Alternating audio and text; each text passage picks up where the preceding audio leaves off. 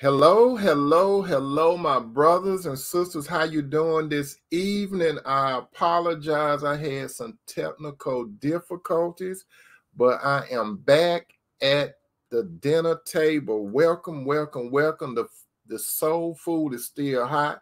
Come on back in, my brothers and my sister. We got a good show this evening. Come on in, come on in. Uh, this show is about family, so while we are gathering for this family meal, this good soul food, my brother and sister, when you come in, you can invite some of your friends in to be able to get some of this good, good soul food. You know, I'm going to bring it out real hot. For those of you that are coming to the table, I apologize for being late. I had some technical difficulties and I had to log back in. So I apologize. I apologize. I apologize. But tonight's show, it's going to be very good, my brothers, and very good, my sisters. So come on in, come on in. Those of you that are on the book, you can like and share. And those of you that are on the tube, I would like for you to uh, become a subscriber. It's free of charge. And not only that, you I would like for you to share and like. Okay, so it's that simple. It's free. So for those of you, while I'm in the course of talking at the dinner table, I want you to understand this. Sometime when I call out names, if you're on the book, you will not be able to see the ones on the tube.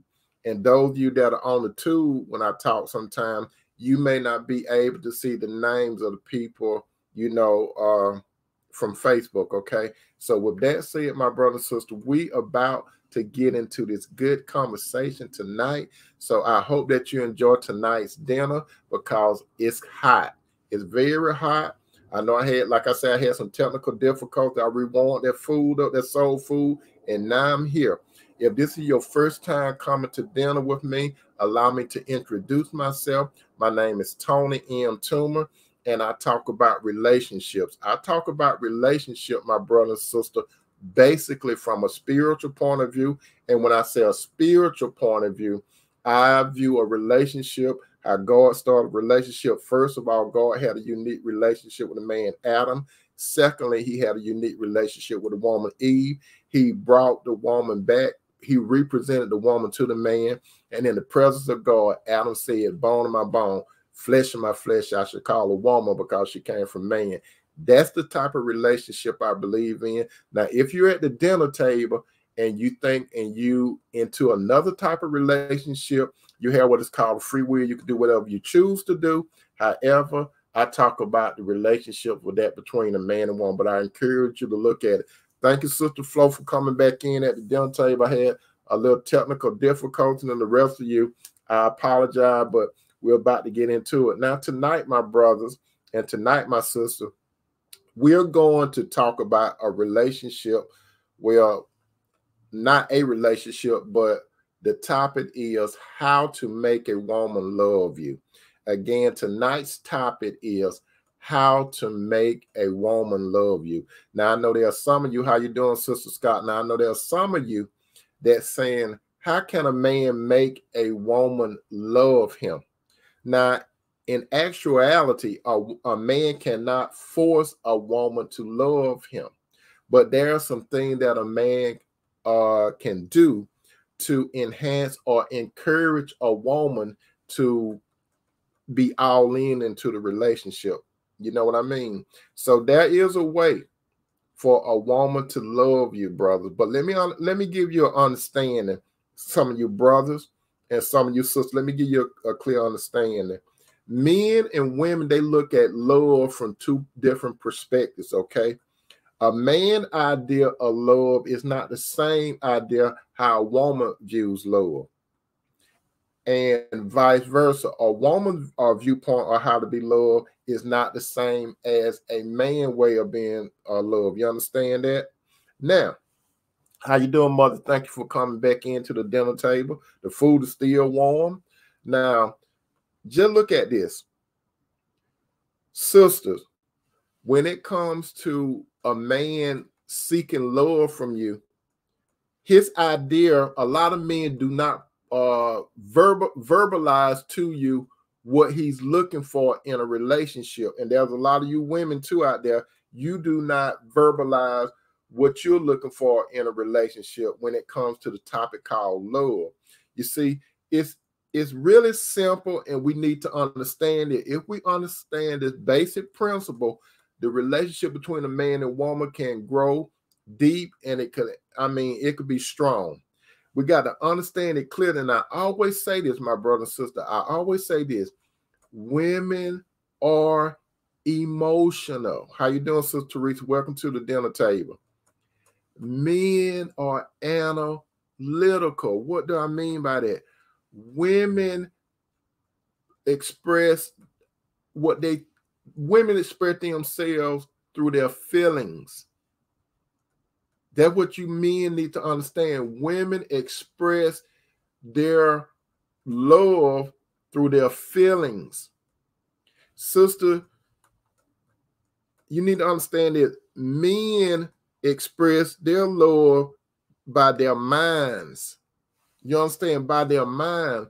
So a woman go into the thing called love with her emotions, and the man go into the relationship with his mind. We were created differently. God created the man, but he made the woman. I'm going to say that two more times. God created the man, but he made the woman. God created the man, but he he made the woman. So it's different. We came into this world differently, so we we need to understand this.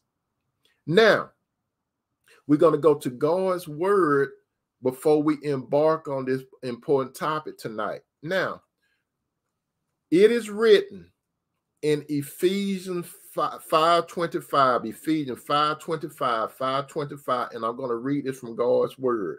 God's word say, husband, love your wives as Christ loved the church and gave himself up for it.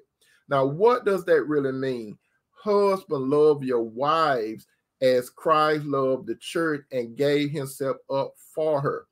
This mean, brother, it said husband. That's the hashtag, if you want to call it a hashtag.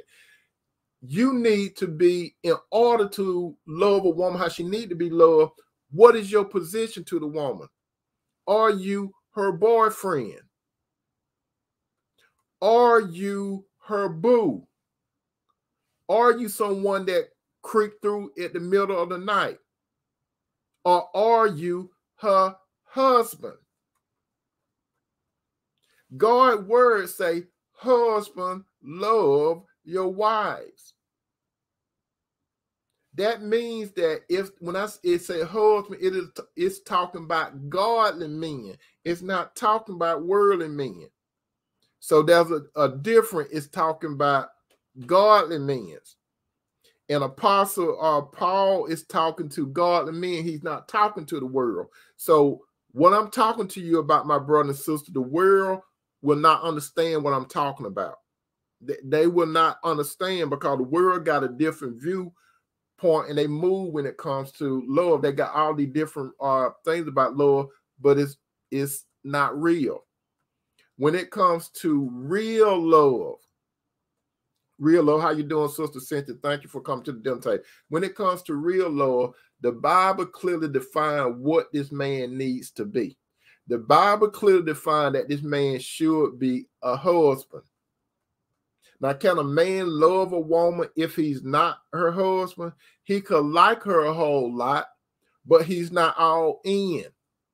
A man, in order for a man to love a woman, this man needs to view this woman and make and move towards being in a serious committed and covenant relationship whereas this man he decide he selects the woman and he move in how you doing the sheriff and he move in to marry her that's how god want it to be that's why when paul said husband love your wife just as Christ loved the church and gave himself up for it. That's why he he specifically did not say boyfriend uh, a friend and all those other titles. He specifically said husband. And when he said husband, he's not talking about any husband. He's talking to a man that following God through his son Jesus Christ. This is the this is who Paul is addressing, and this is who I'm addressing. I'm addressing a man that's following Christ. So if a man following Christ, this man would understand I must love a woman like Christ loved the church and he gave himself up for her. Now, what does it mean Christ gave himself up for the church? Christ gave his life up for the church. The church is a group of called out people. So a man has to model uh, how Christ loved the church. I'm going to touch on that a little later on in the broadcast. And then we're going to go to this other scripture. The other scripture state, and I'm going to read it from God's word again. It said, "As it is written in Colossians 3:19." This is Colossians 3:19. Colossians 3:19. Colossians 3:19. It states this. It said, "Husband, love your wives and do not be harsh with them." You understand? So if you want a woman to love you, I'm giving you some strategies straight from God's word. This is the game. This is the best game plan of how to get a woman to love you, brother. It, again, in Colossians 3.19, it said, husband, love your wife and do not be harsh with them. What does that mean, not be harsh with them? You can't be nasty to them. You have to know how to talk to the woman. You understand? You have to know how to talk to her. Not only talk to her, you have to talk into her. You see, your words, brother, it has the power of life and death. It has the power. Words have weight. Your words are so important, brother. Whereas on when you go in front of Jesus, the it say he's gonna judge you not based on how you act, but the words that come out of your mouth. Jesus gonna judge you based on positive word, negative word, or words that in between. How you doing, brother Nate? Thank you for coming to the dinner table. So let me tell you this: when the Bible say in Colossians 3:19, it said, "Husband, love your wife and do not be harsh to them." You have to be de- you have to watch your words, brothers. Remember, you are analytical. Women are emotional. So when you talk to a woman, you got to understand this. And I have said it before. You cannot talk to a woman like you talk to a man. How you doing, uh, sister uh Maxine? You cannot talk to a woman like you talk to a man. Thank you, uh, sister Maxine. You, Maxine said, I'm, I really enjoy your teaching. Good evening. Thank you so much, sister. Thank you for coming to the dinner table. So listen carefully, brother. Do you ever consider in your mind before words come out of your mouth, the word, how they're going to affect her? You see, when you talk to a woman, you have to talk to her, you have to have, you have to talk to her sweet. Okay? You have to talk to her sweet. You have to talk to her gentle. You can't you can't talk to her with rough your words have to be very delicate when you talk to her. Because see, when you talk to her, actually you talking into her because she listening with her ear. Women, when you actually women listen with their hearts. And you want to be real, real technical about it. Women listen with their heart. The words go into their ear, but you're planting words into her heart. Whatever words you plant into that woman's heart, brother, it's going it's a seed. Your words are seeds. Your word is either going to bring her up and lift her up, or you're going to debase her and bring her down. So you have to be very careful how you talk to her. You and you, and even if you got names for a woman, you have to choose pleasant names, real pleasant names. The names that you call her, that's going to affect her. There's some there are some men right now that enjoy calling women the B word. And I, if you don't know the B word, I'm not cussing but what I'm about to say, but you all have heard it before. There are a lot of men that call the uh the woman the female version of a dog that start with a B, right? And you all know what I'm talking about. And then there are some men that address women, their own women, as a garden tool. And when I say a garden tool, I'm not talking about a shovel. You know what I'm talking about in the in today terminology a 304. So you cannot call women though acid words, bro, because when you, especially a daughter of God, you cannot be talking to them that way because you will break them. Even when you talk to a woman, your woman, when you talk to her and you whatever you say is going to affect her. You got to understand it's going to affect her, even though you see, this is how we operate, brother. When we say if we say something to another man, it's like if the words can roll over. Men normally could take a, a hit with words. They normally can because men hit uh will take words and it flip. It's just like when you're looking at a football game. Some women they might look at a coach fussing at a football player, right? But a lot of time they listen, but it really don't get into them. But you see, that's sister, that's what you think. It really don't get into the man when a coach is hard on a man because he's listening. He's analytical. He doesn't take it to heart. But if a coach, if a woman is playing football and a coach come down on the woman and he and he talk hard to the woman, it's gonna bring her down, and it's gonna affect her performance. And when I, this this is what I'm talking about, how you talk to your woman, it's going to affect her performance. When I talk about her performance, I'm not talking about physically in a sexual way. I'm not talking about that. I'm talking about what that woman will do for you. You want that woman to buy into you 100%.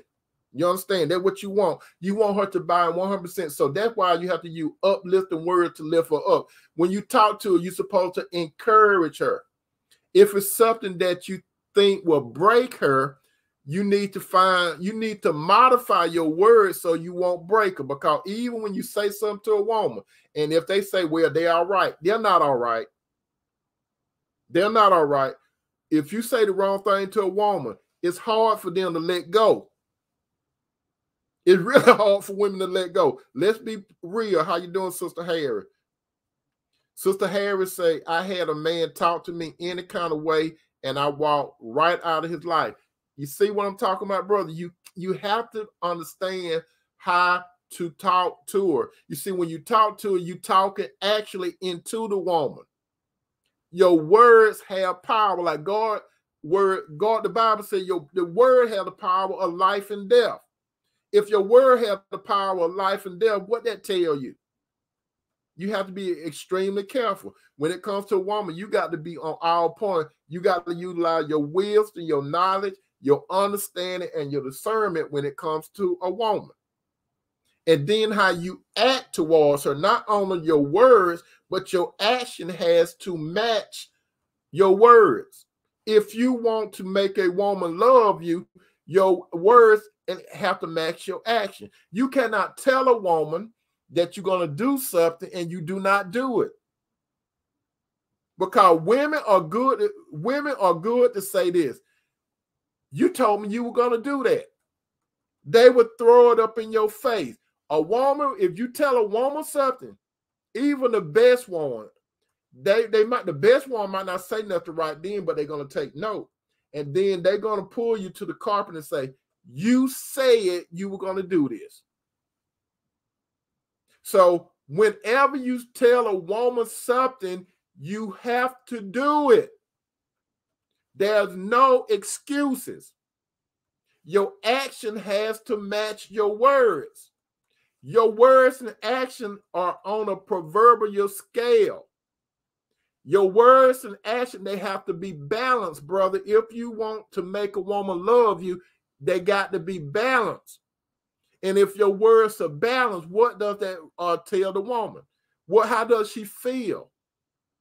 She feel like she can trust you. She women have a they have it where they want a sense of security, which leads to, as it is written in Colossians 3:19, 319, 319, it said, Husband, love your wife and do not be harsh with them. Harsh means not on your words, you cannot backhand them. You can't backhand them, brothers. You can't be choking their necks. You can't put whatever size shoe you got in their rear ends. You can't do that. You can't touch them. If you touch a woman, you don't touch her in a, a harsh way or a violent way. You have to, uh, Sharon would say, repeat the scripture. It's Colossians 3.19. Colossians 3.19, Sharon. Uh, it said, "Husband, love your wife, and do not be harsh with them." Brother, if you put if you put your hand on a woman, you put your hand on a woman in a loving way. If you want to make her love you, I'm telling you how to do it straight from God's word, not from the relationship coaches. They don't tell you what I'm telling you. Relationship culture tell you something from the world standpoint, the world viewpoint of how to love a woman.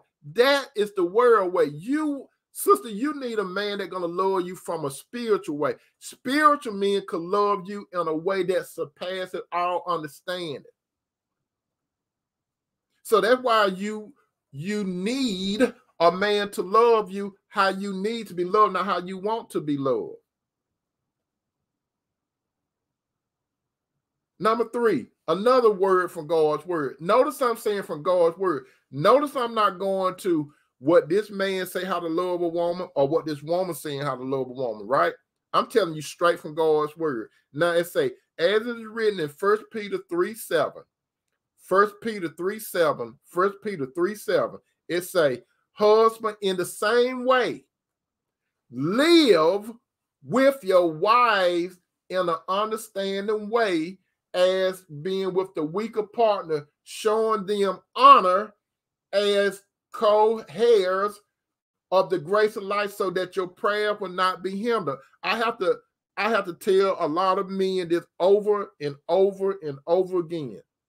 When you live with a woman, now let me back up when I say when you live with the woman. Peter's telling you what type of man live with a woman. What did Peter say? Peter said, husband in the same way. It did not say boyfriend in the same way. It did not say uh, friend in the same way. It did not say uh, the midnight rider in the same way. It said husband in the same way. Uh, live with your wife. It say, it don't say live with your girlfriend. It don't say live with your boo. It don't say sleep over many days and nights and years with the, uh, the woman. It doesn't say that. It identify the position. It identify, excuse me, it identify a husband and it identify wife. Because God is talking through Peter. And God is telling you what position a man has to be in, and it's telling the woman what position she needs to be in. Brother, if you want a woman to really love you, if you really, really want to a woman to love you, what is your role in her life? What is your role in her life? Any man that refute what I'm telling you, you have to watch that man because there are a lot of men out there that are teaching other men you don't you, don't need no wife. You could you could just date them. You could just date them.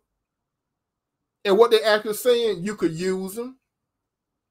You see, when a spiritual man have a wife, he's not he's not using a woman. Spiritual men, listen to what I'm saying carefully. Spiritual men do not use women. Spiritual men utilize women. And what type of woman does a spiritual man utilize? He utilizes his wife because the Bible clearly say that the woman was created for the man, not the man for the woman. So when God bring, when God handpick a woman and bring that woman before the man, that man needs to be husband minded. He must view that woman as God brought this woman to me for a particular reason. That's what you have to see. That's why, brother, you need to have Christ in you so you can see what type of woman is, is coming in front of you. Because Satan will bring some uh, women in front of you too. So you have to use your discernment. But we're talking about God. When God, when God bring a woman to you, brother, let me tell you this: it's in His time. Whenever God bring a woman into a man's life, a spiritual man, it's that man time. Spiritual men, and I always say this: spiritual men do not run after women. Spiritual men do not pursue women like you are a lion and she is a uh, a deer or something and you running after them. That's how worldly men do it. If you look at how worldly men go after women, it's just like looking at uh the safari on TV. Whenever when you look at these uh animal channel and you see how animals chase other animals. When they chase other animals, why do they chase other animals? Just think about it. Why do these other animals chase these other animals? Do you think they want to get to know them and be friends with them? No, they chase them because they want to consume them. Any man that runs after a woman and pursue a woman like an animal or a dog or a lion or whatever, he is trying to, how shall I say it? He's trying to he's trying to consume you. And it's not in a positive way. Worldly men run after a woman. Spiritual man never do that because you see, uh, spiritual man, he's all about God being first, even though he's imperfect, and he knows that God is going to bring him a woman that's made tailor-made for him. And when God bring a, a woman to a man that's tailor-made for him, that's the best woman and the right woman for that particular man. If you, brother, if you want to make a woman love you, you have to listen to what God say. And not only that, brother, when God, if God bring a woman to you, you got to be very careful how you talk to her, and you got to be very careful how you uh react to her. Don't put no hands on her. Don't talk hard to her because if you do, and if you got something that you really want to come in your life, you could pray to God all you want to.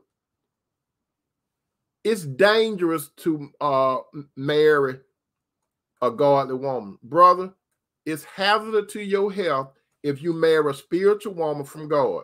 Because if you marry a spiritual woman from God, God will not listen to the words that you say because the Bible said that your prayers will be hindered.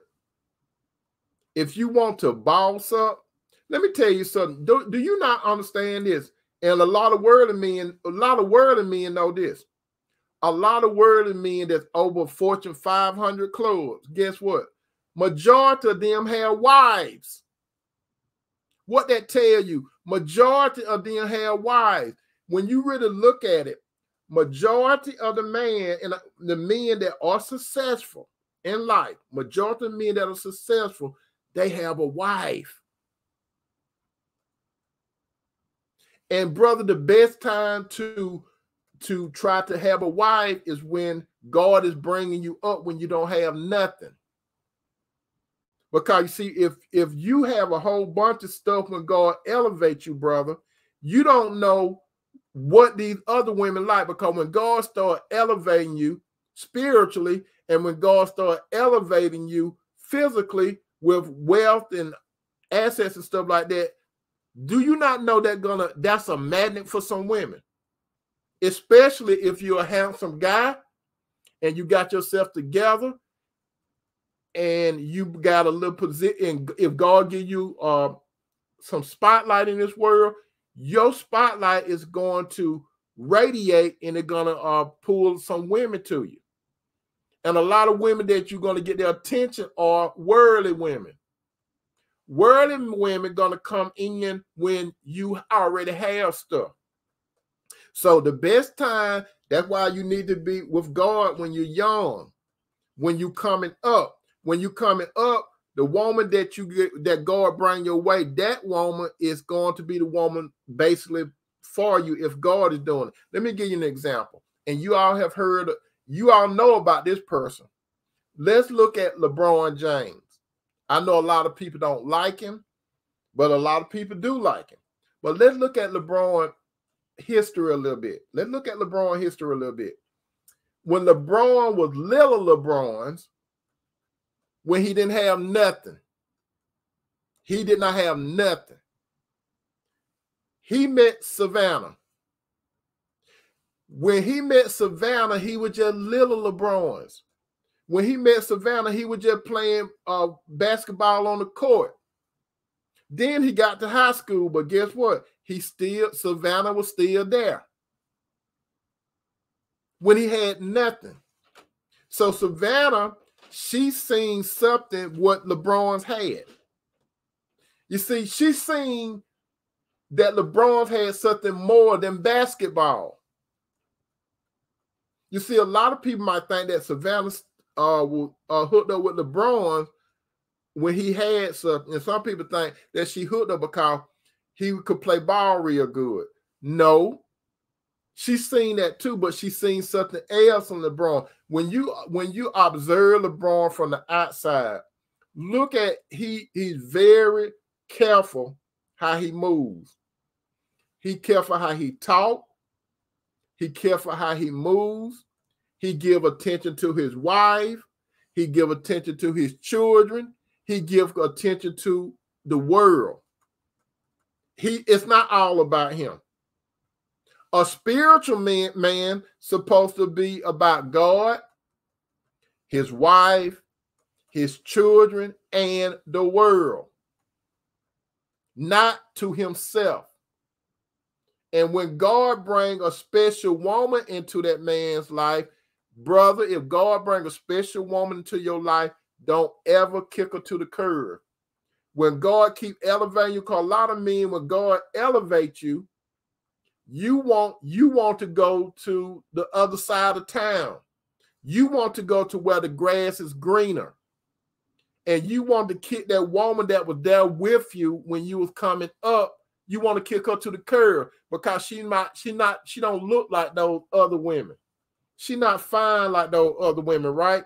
She might got a little stomach. She might got a little cellulite and all that kind of stuff. But you want to go to those women that had all those plastic surgeries and stuff, right? But they don't have integrity in everything on the inside, and they do not have the presence of God in there.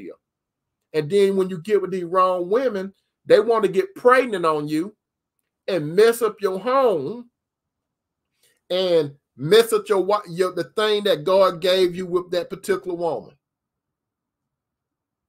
So what I'm saying, when God bring a woman with you, as he, as he's elevating you, brother, he's elevating that woman. As it is written in uh, Ephesians 5 28, as it is written in Ephesians 5 28, Ephesians 5 28 said, In the same way, husbands ought to love their wives as their own bodies. He who love his wife love himself. You understand that? God word say, if you want to know whether man really love himself, and he's married, if a man love himself, watch how he treat his wife. How you doing, Sister Stephanie? Welcome to the dinner table.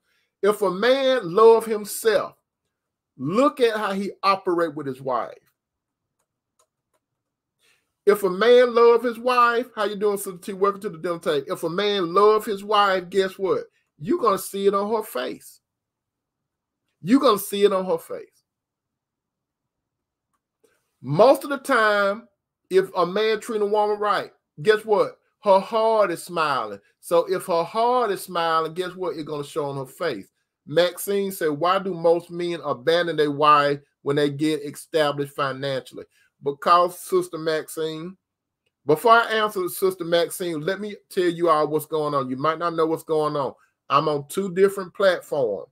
I'm on the book. Some of you on the book, you don't see what the people from uh, the tube are saying. And some of you on the tube, you don't see what the people on, on the book are saying when I call out names. So believe me, I'm talking to two different platforms. It's like the proverbial killing two birds with one stone, okay?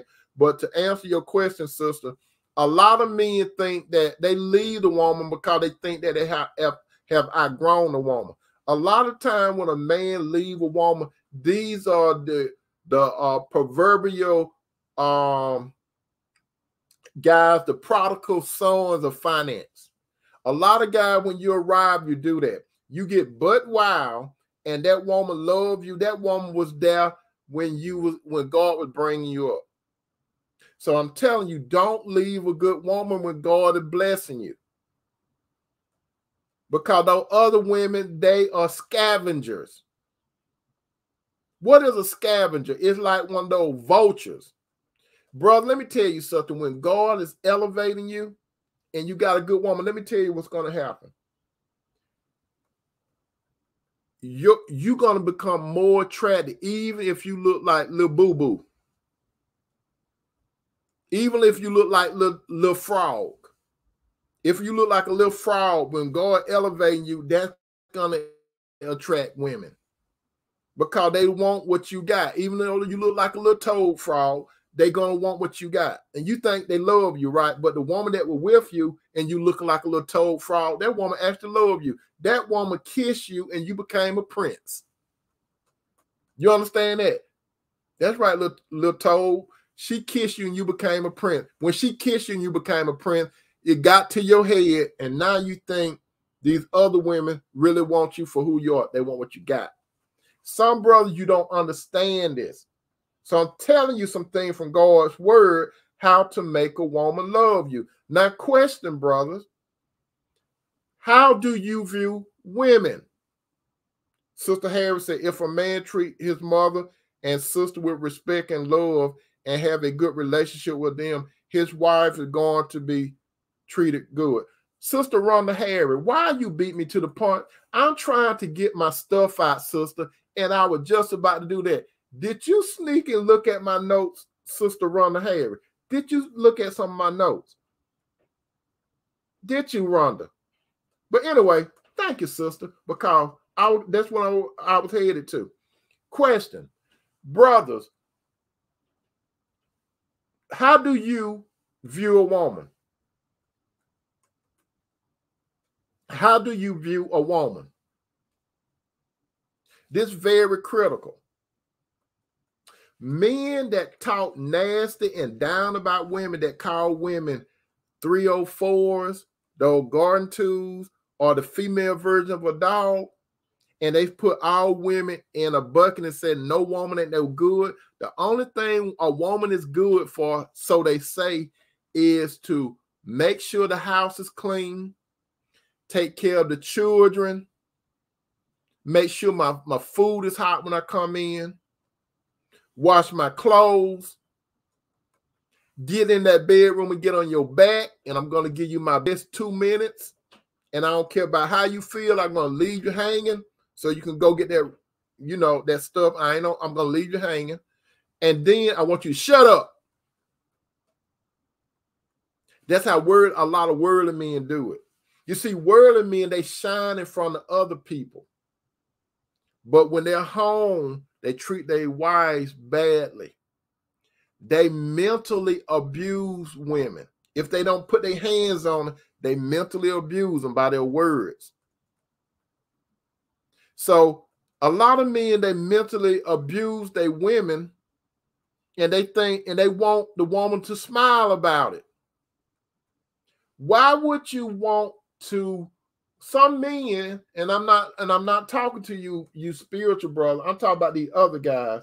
How can a man verbally and physically treat a woman wrong, and he expect for the woman to smile and do good, and then turn around and tell the woman, "You don't support me." You don't do this, you don't do that, but he don't count what all this other stuff the woman doing. The woman, you broke her. At the beginning you you said all the, the nice things you were like prince charming. When you were like prince charming you got her. And now you got her and you treating her worse than a dog some of you guys not my not my brothers not my holy not my holy spiritual brother these worldly men some of you brother you treat your your rottweiler your bulldog your doberman pinscher better than your woman That's right. You treat your own dog better than your, your woman.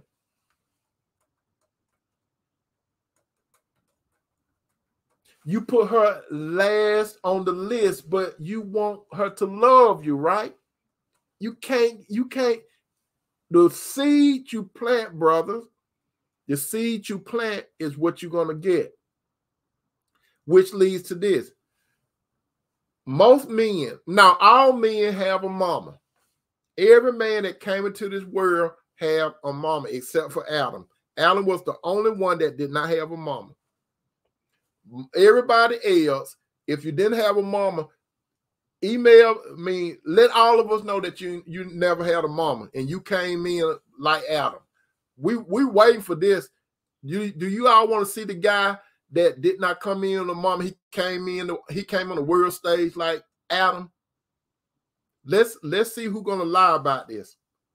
While I get me a glass of water, let's see who's gonna lie and say they don't have no mama, or they didn't come through to the world into the world through a woman. Now, since nobody did not come up and say nothing foolish, when it comes to a woman, brother, you came into the world through a woman.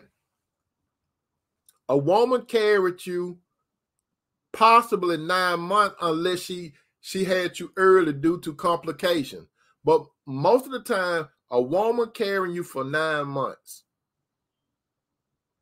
That's right. She take she she uh going around the whirling mean with your big head, your big water head, and she take you around in her stomach. I ain't talking to my spiritual brother. She taking you around, right? You come out of your mother's womb, you grow up, and let's say you have a real good mother that love you and everything, right? You have a real good mother that love you. So when this real good mother love you, and then you want to go out and treat a woman wrong, you want to call a woman all the negative name.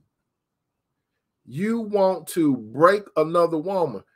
What about your mama? Let's say your mama do you did you want your daddy to treat your mama the way you treat somebody else's daughter?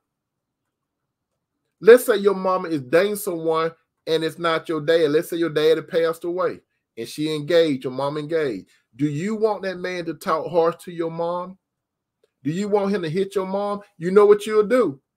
You're not gonna, you'll even stand up to your own daddy because you'll get tired of your daddy talking to your mama wrong you will get tired of your dad at backhanding your mama. You're going to get to the point where you're going to defend your mama. Tell me you're not, I'm not right. You're going to defend your mama, right? You even against your own dad. If you see your dad doing wrong, you're going to defend him. It's going to build up and build up and build up, and you're going to intervene on behalf of your mama. Not only that, you may have a sister or sisters, right? You want to treat your sisters. You want you you love your sisters, right? Even if you and your sister have conflict, the bottom line is you love your sister. When you was growing up, and the neighborhood boys wanted to jump on you, even if you and your sister, even if you and your sister had some problems, the neighborhood boys want to jump on you. When your the neighborhood boys want to jump on you, who came to your rescue? Your sister. As a matter of fact, let me all tell you something. My sister, Rhonda Renee Toomer, even when we were little, I love my sister, right? I love my sister, Rhonda Renee Toomer. If we had a little disagreement, if we had a little disagreement, you better not let those neighborhood boys try to jump on me because it's just like you hear a bugle playing or horn playing. If if those guys want to surround me, guess who coming to guess who coming in? Rhonda Renee Stowe. Here she come. It's a it'll be my sister and me against the against the neighborhood bullies.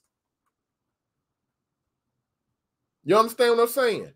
I love my sister, my natural sister that come from the seed of Johnny, and he would plant her in the womb of Barbara. Now, do I want a man to mistreat my sister? Do I want a man to talk nasty to my sister? Do I want a man to lay hands on my sister? No, I do not. So if I don't want a man to talk nasty to my sister, or if I don't want a man to put hands on my sister, why would I, or why would a man want to talk nasty to another woman that's got brothers or a dad or uncles and stuff, why would he want to talk to bad to that woman? Why would he want to put hands on that woman when he will not, when he doesn't want nobody to treat his sister right? Let me go a little further. Let's say some men they have a daughter or daughters, right? Your your daughter, they so precious, right? You don't want no, even if you out there in the street running the streets and stuff, brother and let's say you're a player, brother, you out there running the streets and everything. You don't want nobody to play your daughter, do you? right? You don't want nobody to play your daughter. When I you don't want nobody talking to your daughter wrong. You don't want nobody to um touch your daughter. If you find out that a, a guy said something wrong to your daughter, guess what? You're gonna get up out of that lazy boy chair, if they still make lazy boy chair, you're gonna get up and you're gonna go. You want to ask your daughter where he at, where he at, or if he touch your daughter, you know what you're gonna say, where he at. Let's go. That's what you're gonna do. You're gonna defend your daughter, right? So how is it that some men they want to talk bad and touch other people's daughters when you don't want nobody to do your daughter that way. It's hypocrisy. It's hypocrisy. So, question How do you get a woman to love you? Or how do you make a woman love you? It's very simple. As Sherlock Holmes would say, to Watson, this is what Watson would say to Sherlock Holmes. Watson would say, the best example, Sherlock, is to pattern after Jesus. And then Sherlock Holmes would say, You saying something good, Watson. Pattern after Jesus. Now, when a man, when a man, let me see. Sister Ron said she got my name. Yeah, Rhonda Renee. When a man pattern his his lifestyle after Jesus, that's when a woman will love you. You see, you got to pattern your you got to pattern your life after Jesus, even though you're imperfect. You have to pattern your life after Jesus. And we're going to talk about how you pattern your life after Jesus. And when you pattern your life after Jesus, I'm going to tell you what's going to happen after you do it. First of all, when the Lord, okay, it's two different women that are going to come your way, brother. I talk to you spiritual brothers now. It's going to be two type of women coming your way. It's going to be worldly women and it's going to be spiritual women. It's going to be less spiritual women that come in your way than worldly women. Worldly women, they might excite you because you got a little lust in your heart. So they'll the worldly women, you like looking at them twerking stuff, right? But the woman, that good woman, you see her, she she like to go to worship service, right? She boring to you, right? But you want to see this woman doing her thing at the clubs and everything, right? You like that woman that come that uh work at P Valley, don't you? You like that woman that work at P Valley, don't you, brother? You don't like that woman that goes to the the church building, but you like the P Valley woman, don't you? Because she know how to walk, she know how to work that pole, don't you? But you're not interested in that woman that know how to work the words of God, are you? Huh? You're not ready for that, are you? And I'm not talking to you, you spiritual brother. You know better. I'm talking about these worldly men that looking at what I'm saying. So you have to pattern. Now I'm talking to word, I'm talking to my spiritual brother, not to worldly men. Worldly men, in order to love a woman, you have to have a relationship with Christ. There's no other way. You don't you don't have no manual. There's no skills that no relationship coach, co relationship coach, other men, they teach you how to manipulate women. That's the bottom line. They tell you how to manipulate women. If she if she calls you, don't answer the phone right now.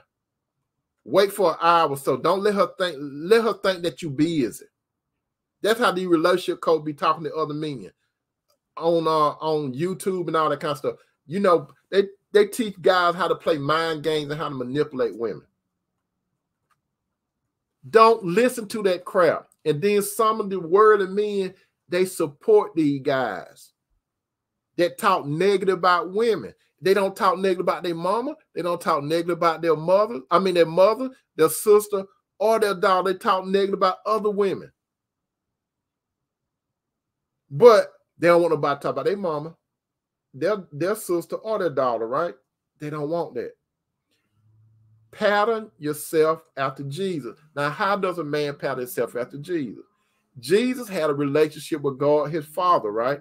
So, brother, you need to have a relationship with God, the Father, through his son Jesus. Step number one. After you have a relationship with God through his son Jesus, we go to another step. And what that step is, what did Jesus always say he was about? Jesus was always about his work, right? What was Jesus' work? To please the Father, right? So you, brother, have to please God through Jesus. Your work is to please Jesus. What else did Jesus do? Jesus had an assignment. He had a life purpose.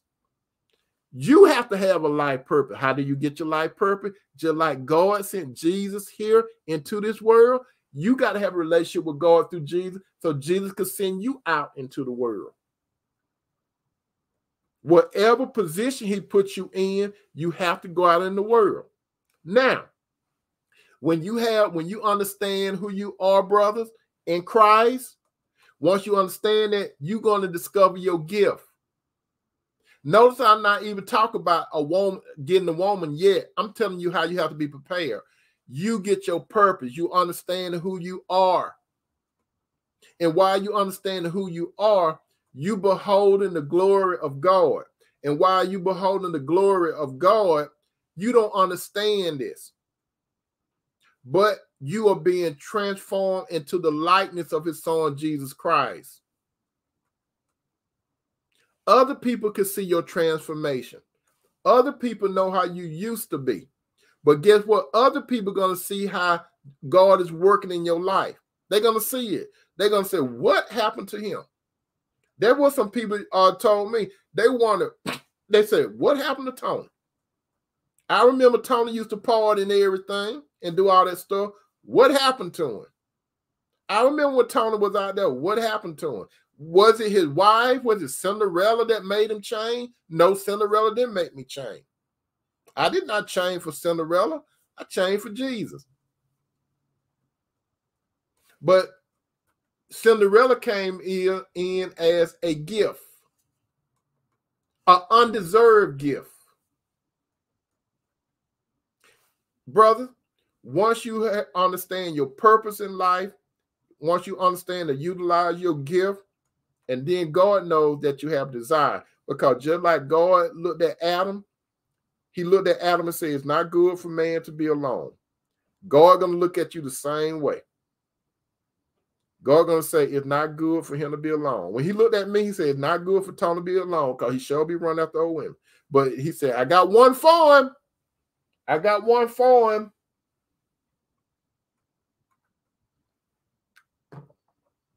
Then God put Adam to sleep, right?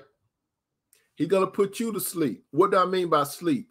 You're not gonna even be thinking about no woman. You're gonna be doing your thing. You're gonna be sleeping in your work, right?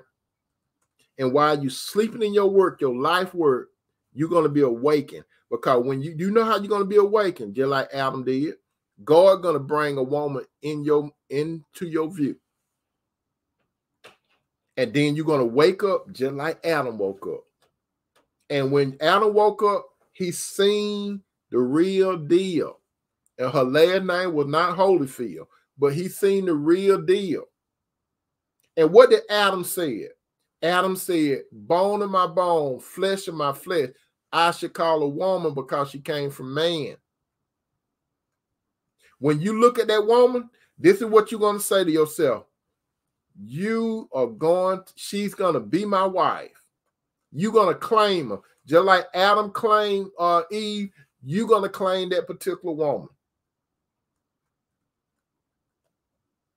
Now, what did Jesus do? You know, Jesus is called the second Adam. When you look in the Bible, Jesus is the second Adam. If you don't believe me, Google it. Put in there the second Adam, and they're gonna point you to Jesus. How you doing, Sister Jane? So Jesus was the second Adam. So if you want to make a woman love you, you have to have a relationship with God. God got to, you don't know how to love a woman. They're not one, no relationship coach, they don't know what they're talking about. They tell you how to lust after a woman. They tell you how to use a woman. They don't know how to love no woman. They don't know it. You know why they don't know it? Because they don't go to God word and tell you how to love a woman. How you doing, Sister Kirkpatrick? The look at I tell you what, when you when you start looking at me, go on YouTube or wherever, social media, and go to some of those men's sites and listen to how they tell men how to get a woman. Not one, not really majority of them gonna tell other men how to get a woman using street smart. What does that mean by street smart? That means worldly wisdom. They're not gonna tell a man, brother, you need to have a relationship with God first through Jesus. They're not gonna tell you that. They're gonna tell you that suave, that suave uh, Rico stuff. They're not gonna tell you the truth. The only way you're going to be able to get a woman to make her love you, and remember, is by her, her free will. You got to be on point. What did Jesus do? Jesus came into the world and he moved around on his life purpose, right? Even though Jesus wasn't about getting married now, okay, that's an exception.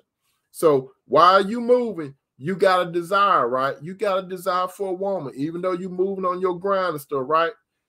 at God's time, not your time, not your time, but on God's time, while you were doing everything you were doing, brother, guess what uh, God was doing? He was preparing a woman for you, just like he prepared Eve for Adam. He was preparing a woman that you didn't even know nothing about. You didn't even see her coming. You probably thought those women that you dated and stuff like that, you probably thought some of them was the one. You probably got married and stuff to or the uh, who you thought was the one, but you found out she wasn't the one. You know why you did it? Because you went, you did it on your own. You did not consult God. I know that because I walked that road before. I did not consult God when I when I messed up. Am I blaming the woman? No. I'm taking full responsibility because I did not go to God to say, should I do this? No, I did it my way. You understand? And Sister Cynthia said, Yeah, some of them teach worldly way. That's right. They call it, that's right, Sister Cynthia. They call it self-relationship coaches. They they telling you how to operate, how to use women. That's how they teach how to use and how to manipulate. And you send me, and here go my um, here go my cash app. Call me so we could set up consultation, worldly consultation. Call me so I could tell you how to miss how to manipulate a woman. How I could teach you how to get her on your back. How I could teach you how not that you ain't got to do too much. Let her run after you. Don't answer the phone when she called. You you got to pretend. You got to make you got to make it seem like you on your grind. You got to mistreat her, cause they like running after men that the, act like they don't they don't like them. Have you then they say, have you ever noticed that when you act like you ignore women, they run after you? That's what these relationship coaches tell the guys. I learned from them. I said, they teaching some crap. They but that's what they say. Just don't act like you're not interested in them. Make her think that you got other women. That's what they teach them. Make sure you don't do too much fall now. Make sure you don't do too much fall. But make sure you get something out of it. They call it smashing. That's what they call this. What these some of these relationship it. Said they call it smashing a woman. You all know what smashing mean. That's what they teaching guys out there. All that worldly crap all that satanic stuff. But back to Jesus. The Lord going to bring a woman to you in his time. When the Lord bring a woman into your life on his time, look, Sister Kirkpatrick said, word of love is different from spiritual. Amen.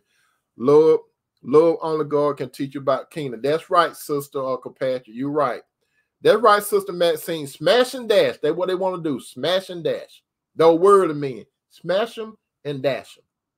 But what Jesus do? Jesus come in doing his job. You got to come in do your job.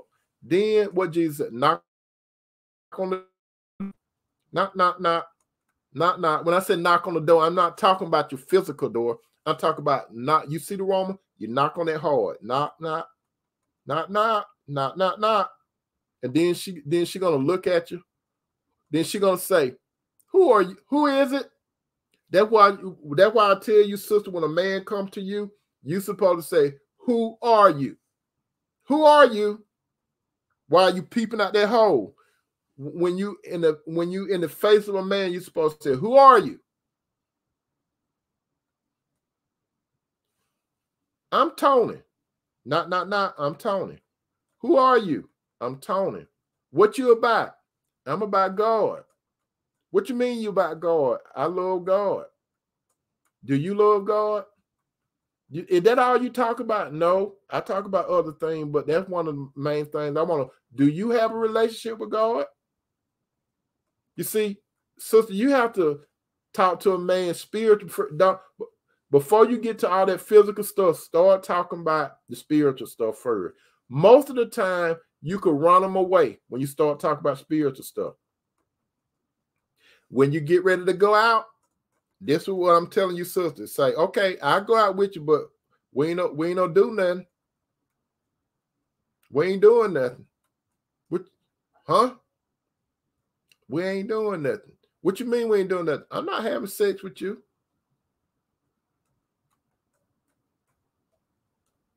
Then he see you that you got other children, right? Let's say he see that you got other children and you're not married. And then you say, I'm not having sex with you. You know what? I'm gonna tell you what he's thinking. Okay, you've been having sex with somebody, you got no other children. But what he doesn't understand is that was the past. You could have been a change at this time. Don't let no man put this over you, sister. You got children, you've been doing some. Don't let no man manipulate you like that. Because most of the men that will manipulate you like that, they got some children out there by other women. But they don't look at it that way. Not, not, not, not, not, not. Who, who there, Tony? What, what are you about, Tony? I'm about God business. What do you do? What do you mean? What do I do? What do you do? What what do you want with me, Tony? What do you want? No, I don't want you. I need you. What do you need, Tony? I need you in my life. Why do you need me in my life, Tony? Because I have a purpose. What purpose do you have, Tony? My purpose is God gave me this purpose, and my purpose at this time is to talk to other couples about relationship problems. That's what God put me in my life. Well, where do you work? My work is doing what God want me to do. Don't confuse my work with my job. Now, you want to ask me what my job is, I'll tell you what my job is, but my work is to do what God want me to do. My job and my work are two different things, sister. Okay. Where are you taking me, Tony? I'm taking you to um eat Where where we going to eat, Tony? I tell you where I tell her where we're going. I'm not going to take her to Burger King, okay? I'm not going to take it. You see, let me tell you something, sister. A lot of guys, they would take you to one of those expensive restaurants. This how you could tell they're not legit. They want to impress you, right? They'll take you to a, a high-end restaurant, and then what they'll start doing is cutting back. They'll start cutting back. Then the next thing you know, you busting Burger King drive through. You know what I mean? So, brothers, my spiritual brother, however you start with a woman, don't decrease, increase, and go beyond. Oh, Tony, do you see me as a wife? I see you as a wife.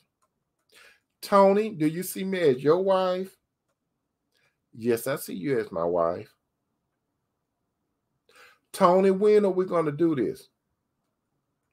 I give her a date. You, you, you different. You different. Most guys say they don't know. Let's just see where it's going. What what type of relationship we're going to be in, Tony? What type what what what we what type of relationship? I see you as my wife. I don't see you as my as my a girlfriend. I don't see you as a boo. I don't see you as coming through at the midnight hours. I see you as wife material. That's a woman that a man is serious about.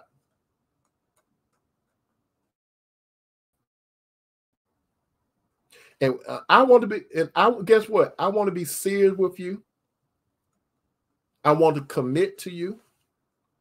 And I and I want you to be my wife.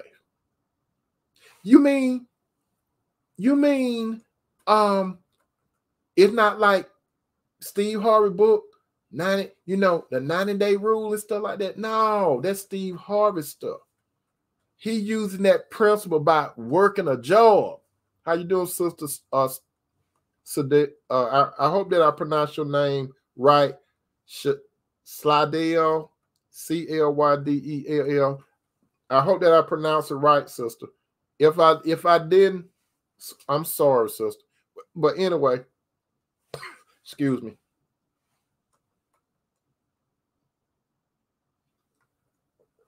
I see you as my wife. You see me as your wife. Other guys didn't see me as that wife. How what was your relationship with other men? Well, we went out and then we went out, and then they started talking about when we got to my house, they wanted to come in and, and said they just wanted to hang out for a while. They wanted a nightcap. I told them that, you know, thank you for the date and I want to go in. I'll see you another time. And then they got pissed off. The attitude started changing. The attitude started changing, yeah, because I won't let them. I knew what they want to do. They want to get me on their back, on my back. That's what they really want. I seen, I I seen how he was looking at me at the restaurant, and that's all he talked about. I I had my my I had my my top of my clothes uh button up, and he started talking about how my breasts look. He started talking about what he could do with my breasts. I had the little night outfit on. It wasn't too tight or nothing like that. And he said, You show, look at all those hips and, that, and all that butt. You don't talk about hips and butt. Why you don't talk about hips and butt, Tony? What make you so different? Well, I, I'm not special. I'm not special. I see your hips and all that, but that's that's gonna fade in time. I want to know who you are on the inside. That's how I, I want to know who you are on the inside. By the way, that's what I told. I'm giving you all some stuff, some of the conversation my wife and I had. I want to know because you see, I told my wife, some you have heard it before. I told my wife, I said, Look, you look good, but I got to know how you think. That's what I told her. I said, You look good, but I got no. Because I said, How you look is going to fade away in time. I got to know how you think.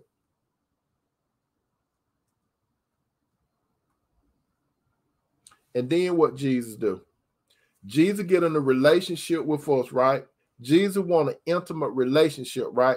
What does it mean by intimate relationship? He wants to talk to us, right? He like he like personal time, right? A man's supposed to make personal time for a woman. Jesus wants to listen to what we got to say, right?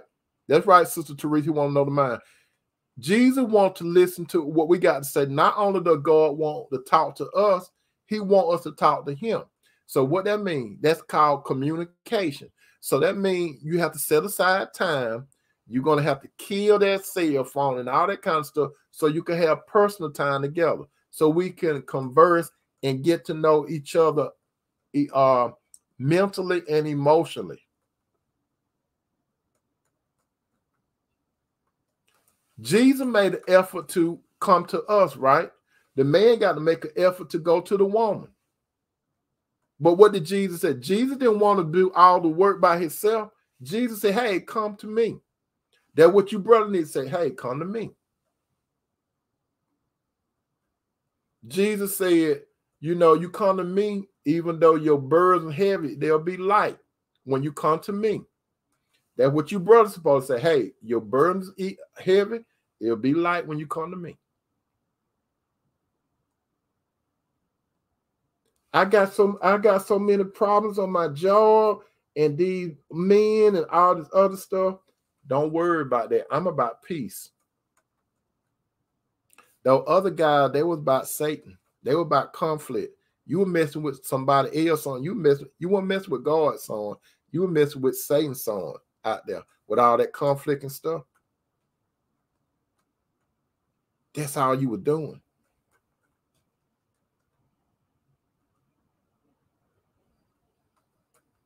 I like you. I like you too.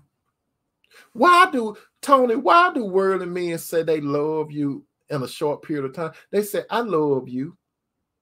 They love me, but they don't even know me. Worldly men can't love you. Sister, if you all don't get nothing else out of this, a worldly man, he can't love you.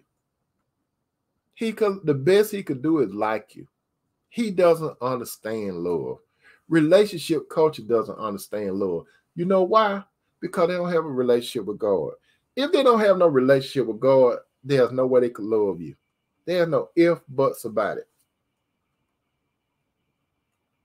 What do Jesus also say? Jesus always said, we, us, our. That's what Jesus said. We, us, our. Jesus said, let me prepare a place for you brother, you have to, when you to a woman, you say, hey, let me prepare a place for you.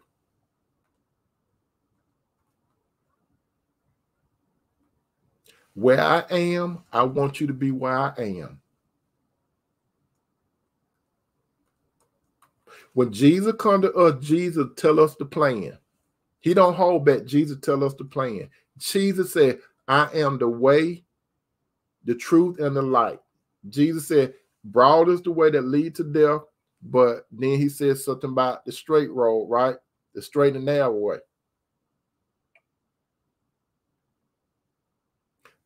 Jesus said, Come to me because I go to the Father and I'm going to come to you. A spiritual man, you're supposed to be able to lead and guide a woman when it comes to worship.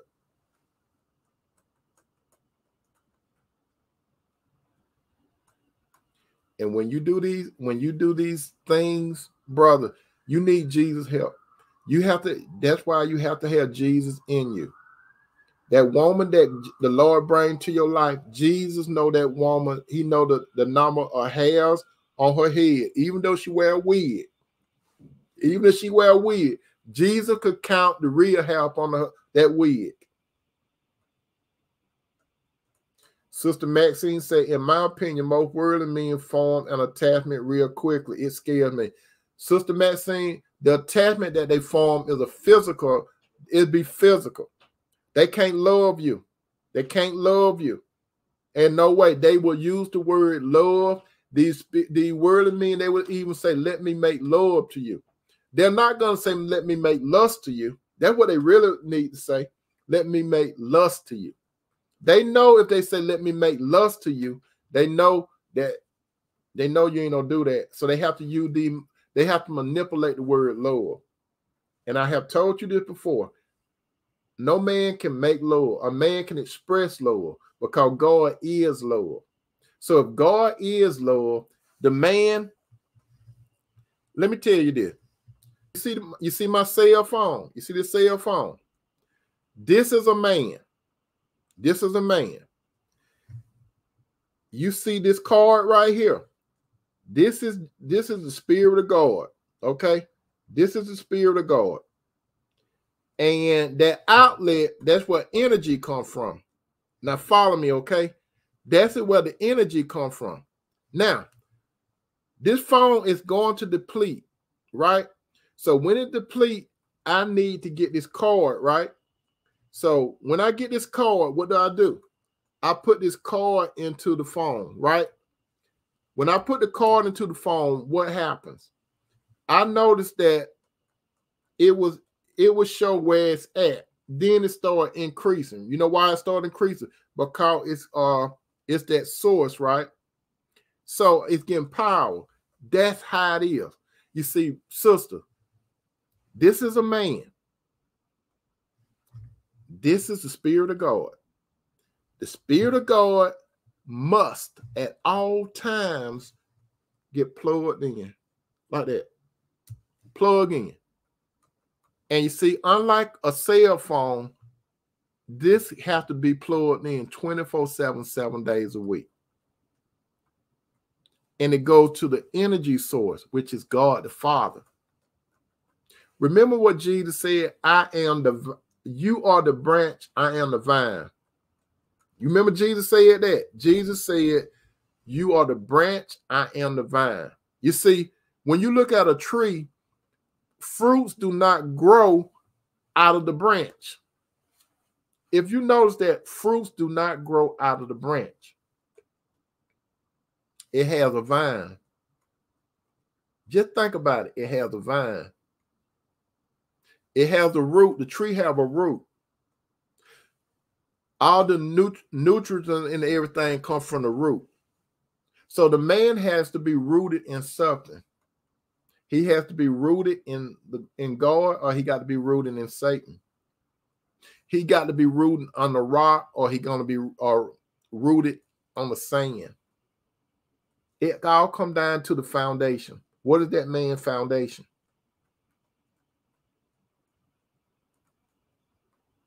Then the man will say, like Jesus said, Jesus said, I want us to be one. What do Jesus mean? I want us to be one. Jesus said, I'm in you and you are in me.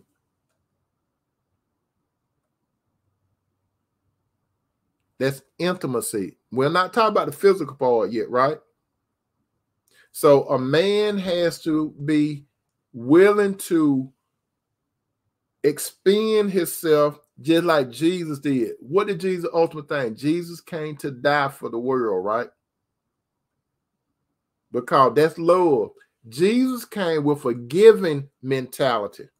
Remember, Jesus said, I did not come to be served, I came to serve. That's what a man's supposed to do. When it comes to a woman, a man's supposed to serve. Just like Jesus and the woman's supposed to be like the church. You see, now it get down to how to make a woman love you. You have to plant love into that woman. When you plant love into that woman, guess what happened? You're going to see some fruits. Sister, this is what love is for a man. You, sister, you want to feel love. Men want to know love. Understand that. Men want to know love you want to feel love. In order for a man to uh, know love, men look at love as respect, which leads to this, as it is written in Colossians 3:18. Listen carefully, sister. As it is written in Colossians 3:18, Colossians 3:18, Colossians 3:18. It said, Wives, submit yourselves to your husband and it is fitting in the Lord. Listen to it again. It's God's word, sister. It said in Colossians 3:18, it said, Wives, submit yourselves to your husband as it is fitting in the Lord. It did not say wives submit to your boyfriend. It did not say wives submit to your boo.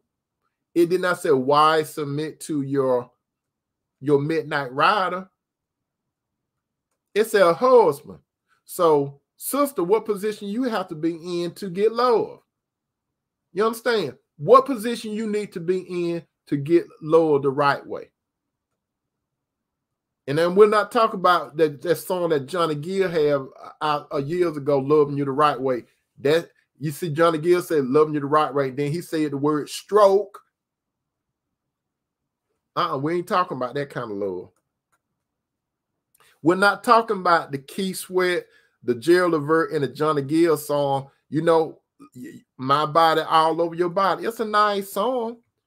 You see stuff like that are for married people. Your body, my body. You see, God won't, when it comes to the physical part, sister and brother, when it comes to the physical part, you have to do it the right way. I did it the wrong way for some years. I was out there. But I had to do it right. I had to do it God's way. And I have told you this before, my brother and sister.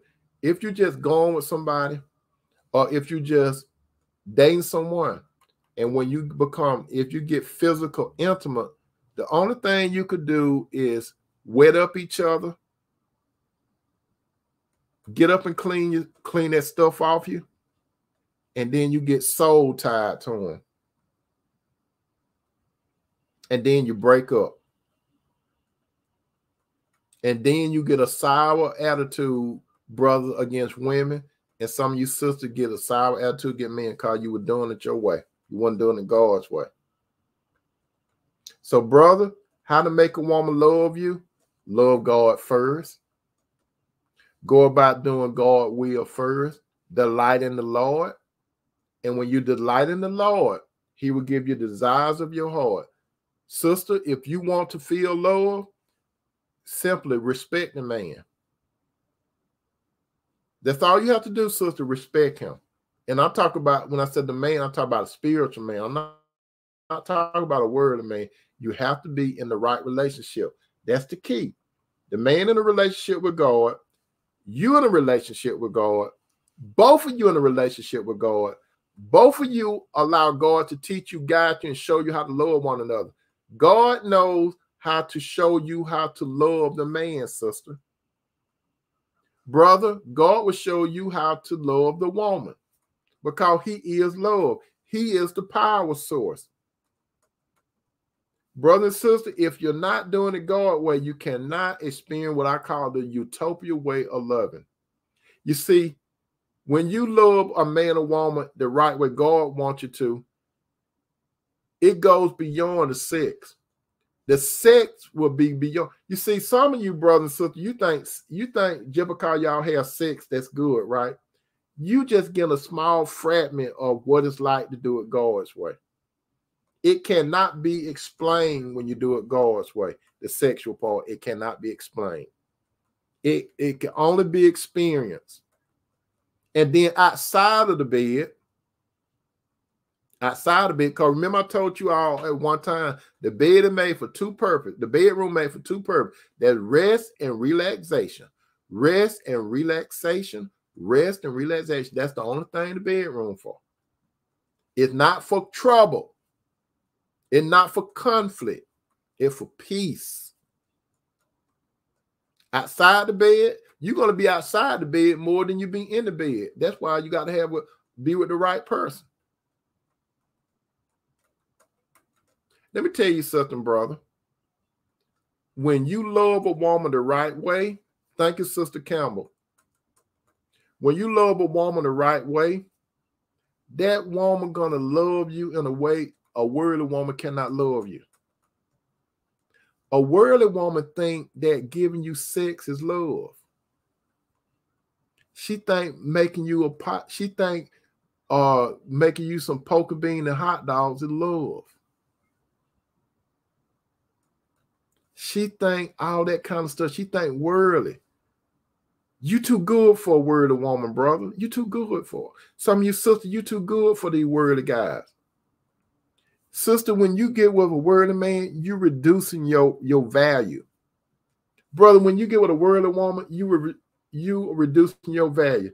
You want to know what a real, you want to know what a real um how let me see what did Kevin Samuel used to call it? High value. Kevin Samuel said, a high value man. You women want a high value man, right? That's what Kevin Samuel said. You want to have be a high value man. You have the high value man supposed to make six figures and all that kind of crap, right? A high value man. What did Jesus say? Jesus said that a man's life does not consist of the things he owns. That's what Jesus said. Kevin Samuel said six figures. Jesus Christ said a man's life does not consist of what he, he has. Jesus said, What would a man give in exchange for his soul? So the most important thing, sister, from a man is his soul.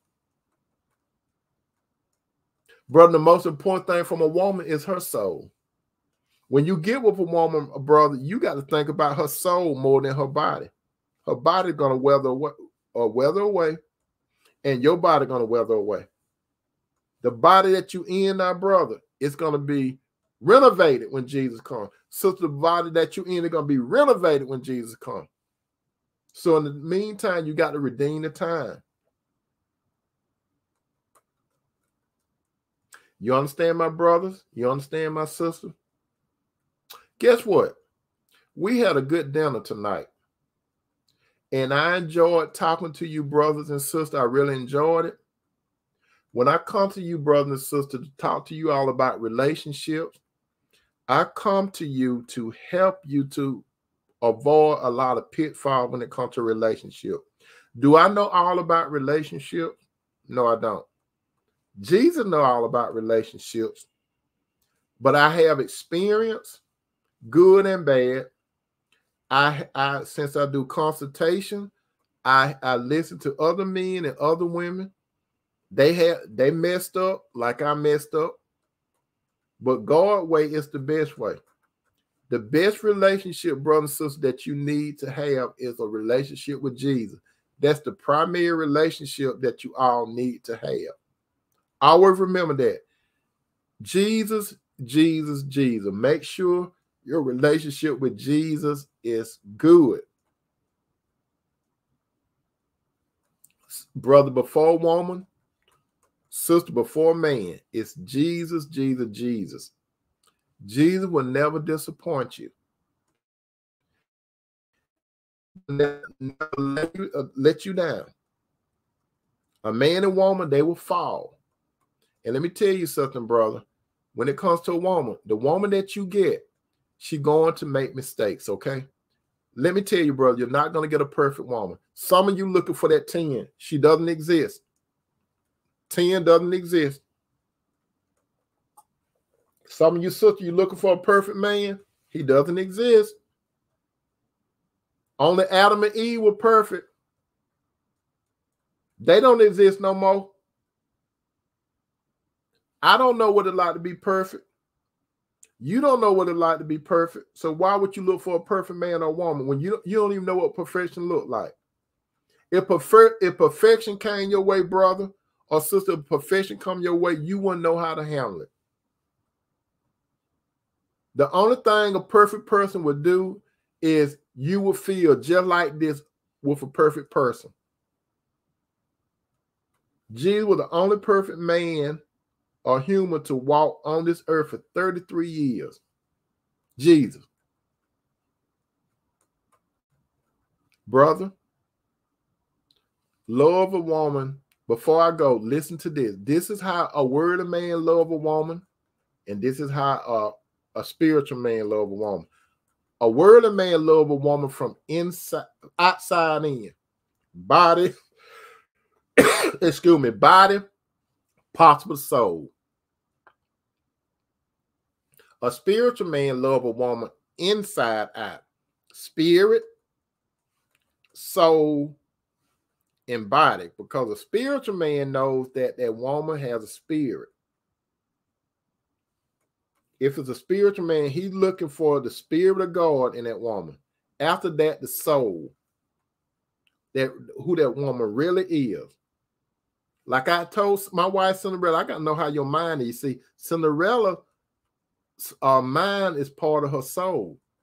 I know she had a will and emotion, but I want to know how her mind works. You see, I couldn't go by Cinderella's feeling, even though you know I was all that in a bag of chips. I couldn't go by her feeling. I had to go by her thinking.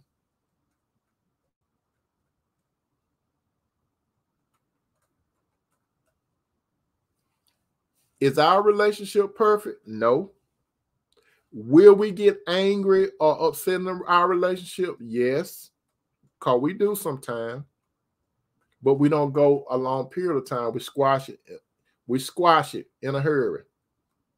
Because all we would do if we hold an animosity against one another, we wasting time. You cannot get time back that you have lost.